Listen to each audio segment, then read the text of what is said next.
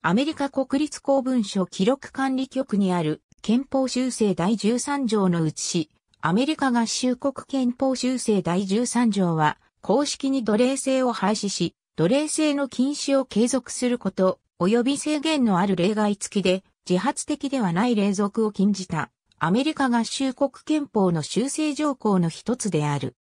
その批准の前は、デラウェア州とケンタッキー州でのみ奴隷制は合法のままであった。他のすべての州では、州の行動及び連邦政府の奴隷解放宣言によって奴隷は解放されていた。奴隷解放宣言を発したエイブラハム・リンカーンたちは、奴隷解放宣言が一時的な戦争の手段と見なされるかもしれないことを心配し、奴隷制がまだ合法である2州の奴隷を解放することに加えて、永久的な奴隷制度廃止を保障するための手段として、この修正条項を指示した。修正提案はもともと、アメリカ合衆国会員議員のジェームズ・ミッチェル・アシュレイと、ジェームズ・ファルコナー・ウィルソン、及び上院議員のジョン・ビー・ヘンダーソンの3人によって起草され提出された。この修正に続いて、修正第14条と修正第15条が追加された。修正第13条から第15条の3つを合わせて、レコンストラクション修正と呼ぶ。アメリカ合衆国憲法修正第13条は、第38アメリカ合衆国議会により1865年1月31日に各州の議会に提案された。1865年12月18日のアメリカ合衆国国務長官、ウィリアム・ヘンリー・シー・ワードの宣言で、36州のうち27州の議会により、修正条項が批准されたことが布告された。修正条項の提案から1年以内に必要な全州の4分の3の州から批准されましたが、1865年に州になっていた36州のうち最後になったミシシッピー州が批准したのは、130年後の1995年のことであった。各州の批准日は以下の通りであった。イリノイ州、ロードアイランド州、ミシガン州、メリーランド州、ニューヨーク州、ペンシルベニア州、ウエストバージニア州、ミズーリ州、メイン州、カンザス州、マサチューセッツ州、バージニア州、オハイオ州、インディアナ州、ネバダ州、ルイジアナ州、ミネソタ州、ウィスコンシン州、バーモント州、テネシー州、アーカンソー州、コネチカット州、ニューハンプシャー州、サウスカロライナ州、アラバマ州、ノースカロライナ州、ジョージア州、この時点で批准は成立した。その後の批准は次の通りであった。オレゴン州、カリフォルニア州、フロリダ州、1869年6月9日に、再確認アイオワ州、ニュージャージー州、1865年2月8日に、一旦非決テキサス州デラウェア州、1865年2月8日に、一旦非決ケンタッキー州、1865年2月24日に、一旦非決ミシシッピー州、1865年12月5日に、一旦非決歴史的に見ると修正第13条は、通常と異なっていた。その前の12箇条は、憲法の制定、承認から15年以内のものであった。最初の10箇条は、権利焦点としても知られ、1791年に成立、第11条は1795年、第12条は1804年に成立していた。修正第13条が提案された時は、60年以上にわたって新しい修正条項が採択されていなかった。修正第13条の目的も通常と異なっていた。南部諸州の脱退の危機下中で南北戦争の勃発前には議会を通過する法案の大多数は奴隷制を保護していた。奴隷制を廃止する法案はほとんど提出されていなかった。会員議員であったジョン・クインシー・アダムズは1839年に奴隷制廃止を提案したが、それ以後は1863年12月14日に会員議員ジェームズ・ミッチル・アシュレイが提案した合衆国全土における奴隷制廃止のための修正提案が最初であった。この後、下院議員、ジェームズ・ファルコナー・ウィルソンによる同様な提案が続いた。ここで、やっと議会と大衆は注意を向けて多くの追加法案が提出されるようになった。上院議員ジョン・ビー・ヘンダーソンは1864年1月11日に奴隷制を廃止する憲法修正条項を共同提案で提出した。奴隷制の廃止はそれまで共和党の専売特許であったが、ヘンダーソンは高派の民主党員であった。ライマン・トランブルが委員長を務める上院司法委員会が修正提案に関する様々な案を一つにまとめることになった。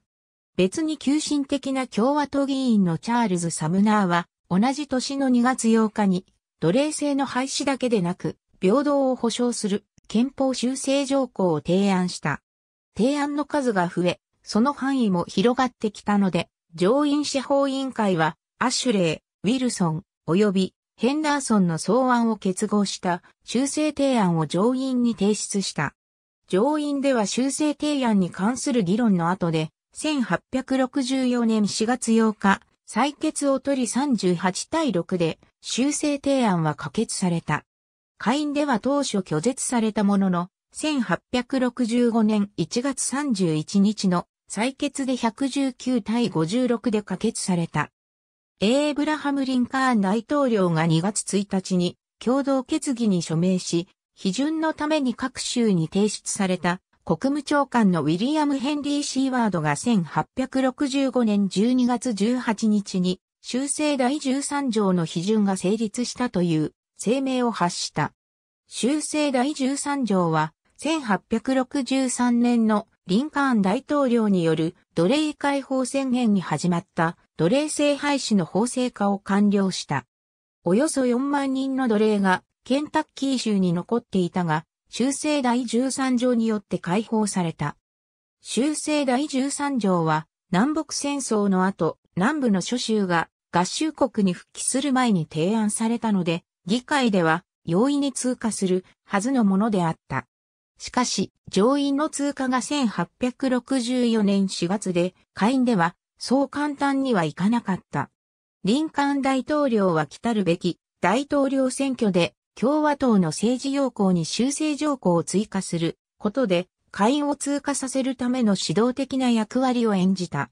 リンカーンの努力は1865年1月の下院で議案が通過した時に実った。アメリカ国立公文書記録管理局にある修正第13条の写しには、通常の下院議長と上院議長の署名のもとに、1865年2月1日承認の後に、リンカーンの明晰な署名が記されている。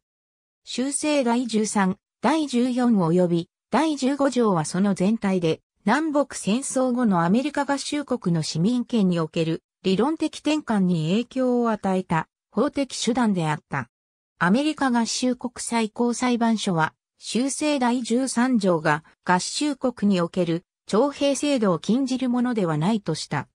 しかし、修正第13条は、雇用契約のような個人的活動に対する契約違反に対する法的な救済策として特別な機能を禁じてはいない。修正第13条に対する違反行為は1947年まで起訴された例が存在する。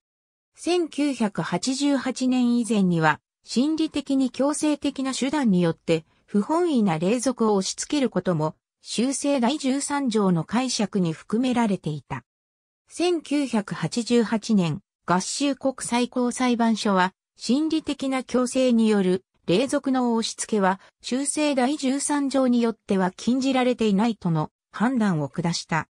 心理的な強制は1947年のエリザベス・インガルスの事件では不本意な霊俗を強制する主要手段であった。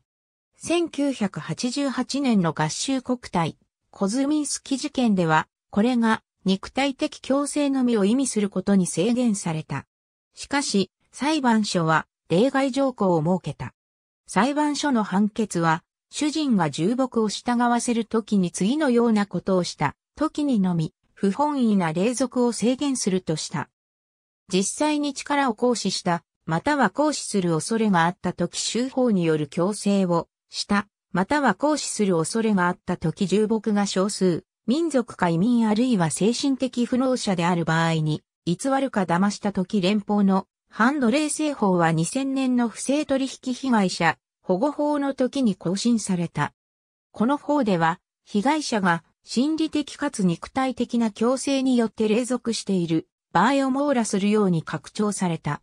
労働は経済的あるいは財政的価値を高める働きと定義されている。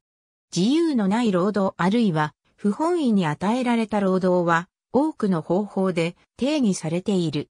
人に関わる不正取引の被害者及びその他の強制労働の状態は通常、その不利益に対する法的な行動の恐れで強制される。代表的な例は不法移民の国外退去である。